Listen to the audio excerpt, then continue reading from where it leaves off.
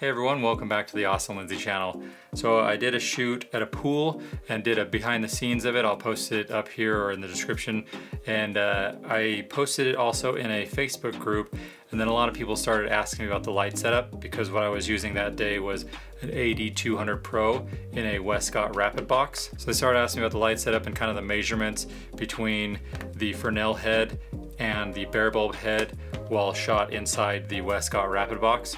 So I did a few measurements. I'll post a link down below so you can check them out. So for the measurements, I just measured in this room. I set it up at, at one meter, which is 39 inches. I measured with this Sekonic L478D light meter and I had the dome extended. It's not super scientific, but I thought I'd give you this information in case you wanted to measure your own and do some comparison. Most of the settings, there's maybe a stop and usually less than a stop. So in my measurements, I never found that there was more than a stop difference. So it's actually pretty close of a difference in lighting when you're between these two. But if you just need the extra power like I did on that day, because I was shooting direct sunlight, it was around 1 p.m and I was shooting full power on the AD200 Pro.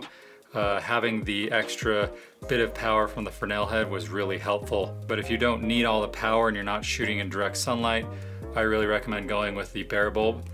It fills up the modifier in more of a spherical form, which I really like. The other question people had asked is about the hotspot in the modifier. So I took a few photos of the modifier itself with the bare bulb and with the Fresnel head and the bare bulb definitely fills it up. It's a lot more even across the modifier.